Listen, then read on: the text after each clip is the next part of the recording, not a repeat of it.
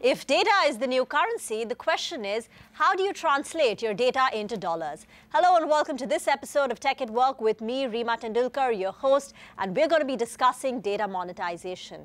Companies are becoming increasingly aware that they're sitting on huge amounts of underutilized data. This is largely untapped, yet a lucrative revenue stream that already exists within most of the large companies, and data monetization now presents a compelling business opportunity virtually for every company. But how do you know what your data is worth? How do you convert your raw data into information and capture its potential? What are the strategies employed by companies? Mark Sullivan, the global CFO of International Data Corporation, joins in to discuss this.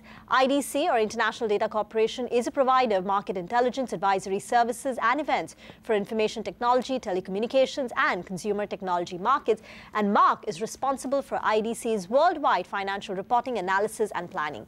He's also a member of IDC's Senior Management Committee. Mark, thank you very much for speaking with Tech at Work. Uh, I, Data is an asset, no doubt, and I guess now everyone realizes it. But have companies started the process of monetizing? How many companies are currently monetizing their data? What stage of readiness are we in now? That's a good, uh, good question, and you're right. Uh, we're living in a very technical uh, digital era right now, and uh, this, this, digital transformation, or DX as we call it, is really generating uh, all sorts of uh, data that did not exist before.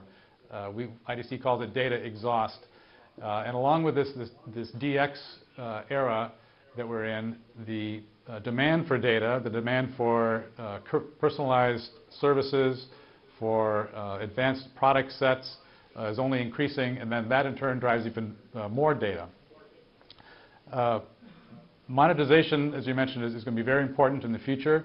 IDC is conducting research and surveys on that. but why is it important? Why do companies want to care about it? Uh, one of the reasons is that if, if they don't do something today, it may be an opportunity cost. Uh, they could miss out, or it could put them in a, a very uh, disadvantageous competitive situation. Uh, another reason is that uh, the, the, data is there. It's being generated. Let's put it to good use and try to monetize it. And the third reason is that CIOs have dreamt forever of uh, becoming not just a cost center for their companies, but a, a, a, division or a department that can drive revenue and profits. So this is probably uh, their best opportunity in many, many years to, to realize that dream.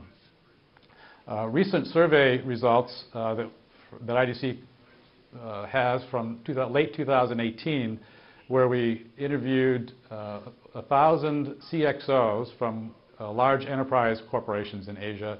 Uh, large enterprise is uh, a company that has 1,000 or more employees. Uh, the results of that survey indicate that by 2020, 60% of those enterprises will have created data management or data monetization programs, and that by 2021, uh, on average, those companies expect 22% of their revenue to come from data, where it doesn't come from data today. Okay, so those are some very important insights. So by 2020, your survey tells you that 60% of the enterprises will actually create data uh, monetization capabilities.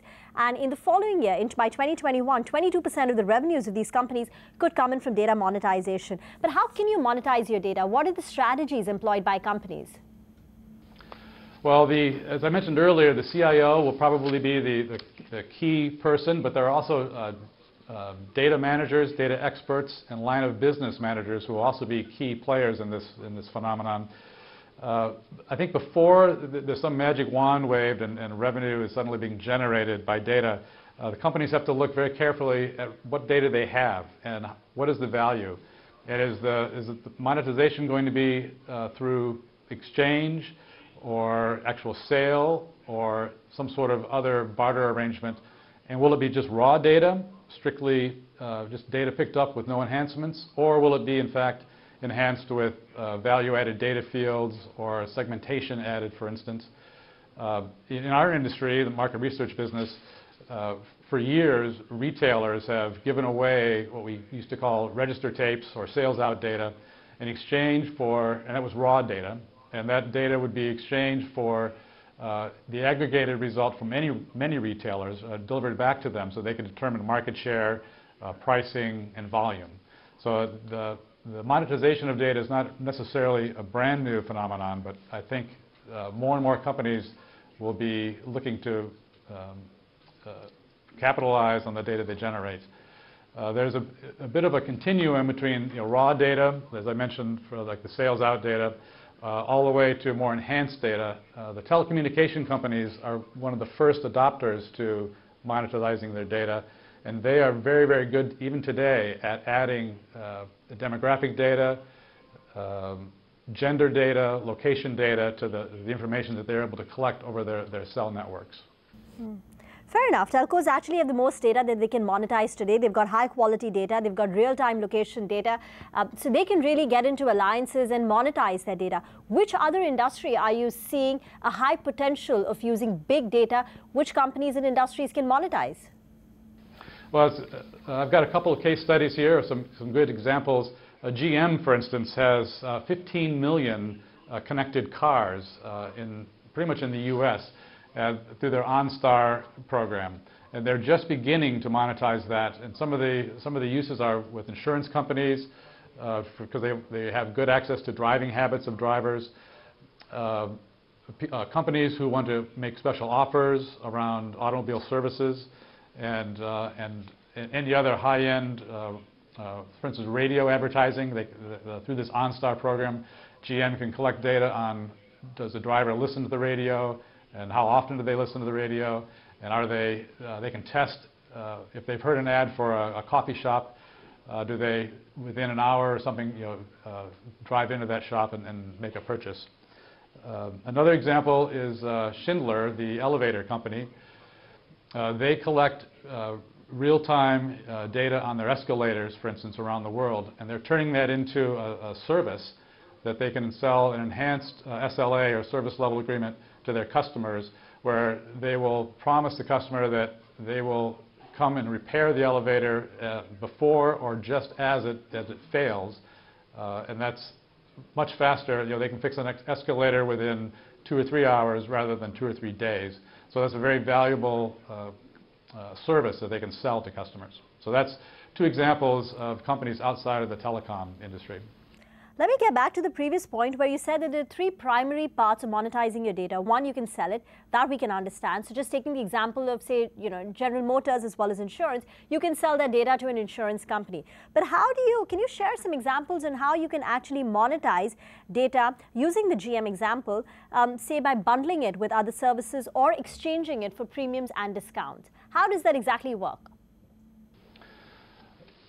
Well, I think I would go to the, the uh, back to the example of the raw data that our, uh, our industry uses for uh, sales out data.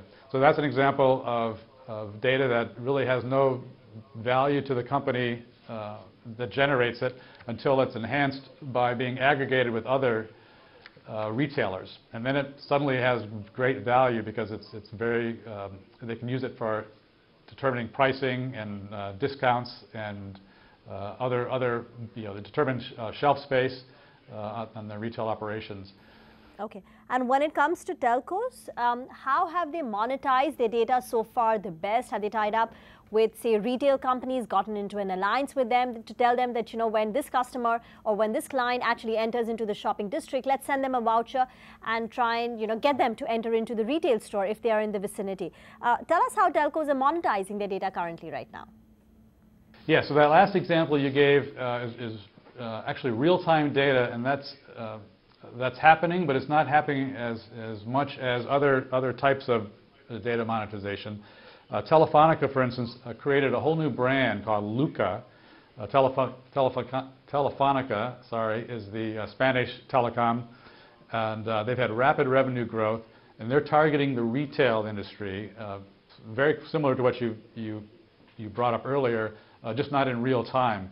But they are collecting uh, traffic patterns, uh, where people are walking, where they're driving, how long they're spending uh, uh, at a certain site, and they're able to sell that to uh, retailers and also real estate developers, you know, to figure out where to best build or locate new retail areas.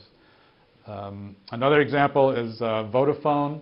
They're also doing very similar things to Telefonica where they're collecting um, data on uh, traffic patterns and um, where people are, and they are connecting that with um, uh, data on gender and age and even um, uh, it, like income levels and, and where their uh, where their spending uh, levels may be based on where they live.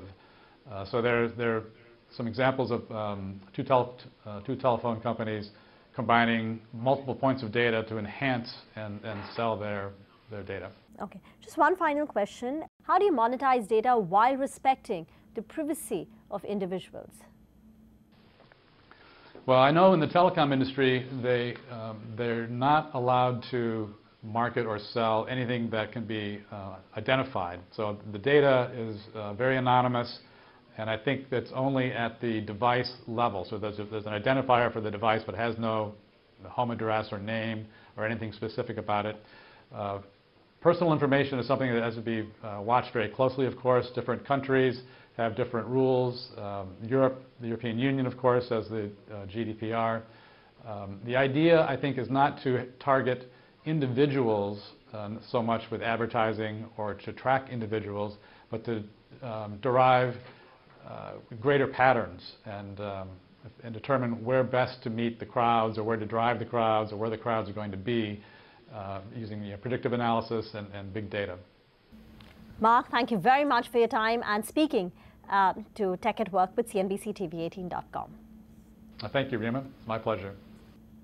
Interesting conversation there with Mark. The data monetization opportunity is a real one and the conditions for data monetization are ripe. Massive volumes of structured and unstructured data, improving intelligence by applying data analytics, decreasing storage costs. As IDC points, 60% of the enterprises by 2020 are likely to formulate their data monetization strategy and by 2021, nearly 22% of the revenues will come in from this source. It not only improves the competitiveness of the company, but it also gives them an added revenue source. But the only question is compliance, privacy, securities. Will that limit the way in which data can be used? Uh, that only time will tell.